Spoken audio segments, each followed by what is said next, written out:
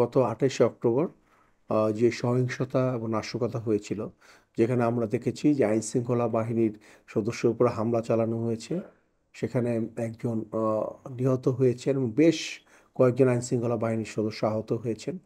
পাশাপাশি আপনারা দেখেছেন যে প্রধান বিচারপতির বাসভবনেও হামলা চালানো হয় এবং সেখানেও নাশকতা করা হয়েছে, সহিংসতা করা হয়েছে। আপনারা জানেন যে এডিট ফোর্স র্যাব আমরা মূলত আঠাশে অক্টোবর যে নাশকতা হয়েছিল বা সহিংসতা হয়েছিল, সেগুলোর সিসিটিভি ফুটেজ পাশাপাশি বিভিন্ন গণমাধ্যমে প্রকাশিত যে ভিডিওগুলো রয়েছে, এগুলো অ্যানালাইসিস করে যারা সেখানে উপস্থিত ছিলেন এবং এই নাশকতা ও সহিংসতার সাথে যারা জড়িত ছিলেন, তাদেরকে শনাক্ত করে কিন্তু আমরা তাদেরকে আইন আওতা আনার চেষ্টা করছি।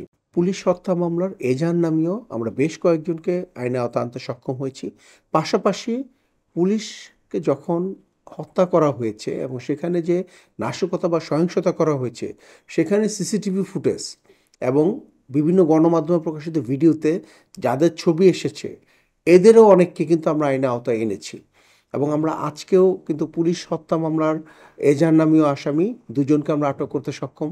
এবং আরও একজন, মূলত তিনজনকে আজকে আমরা আটক করতে সক্ষম হয়েছি, যেখানে চাপাই নবাবগঞ্জ এবং ফেনী থেকেও আমরা আটক করতে সক্ষম হয়েছি।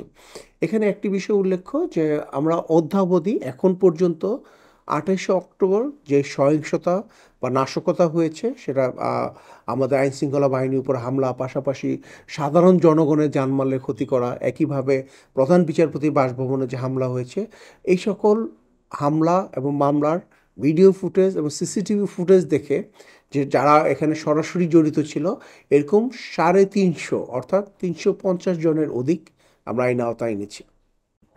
এখানে যে সকল মামলা হয়েছে, সহিংসতা, নাশকতার, এমনকি হত্যা মামলাও হয়েছে, এই মামলা যারা এজাহার নামে আসামি, তাদের সবাইকে আমরা খুঁজছি এবং যাদেরকে আমরা খুঁজে পাবো, আমাদের গোয়েন্দারা তাদেরকে খুঁজছে, আমরা খুঁজে পেলে আমরা সবাইকেই আমরা আইন আওতায় নিয়ে আসব।